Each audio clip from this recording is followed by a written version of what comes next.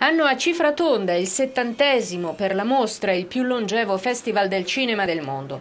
Venezia ha fatto una preapertura d'eccezione quest'anno proiettando il film restaurato Le mani sulla città di Francesco Rosi e questa sera l'inizio ufficiale con il grande spettacolo hollywoodiano di Gravity.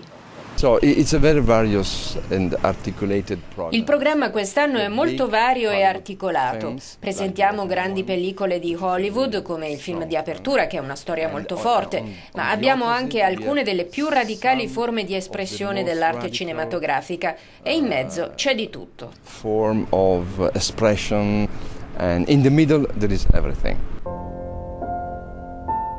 Ad aprire dunque questa sera la superproduzione di Alfonso Cuaron con Sandra Bullock e George Clooney, astronauti alla deriva nello spazio.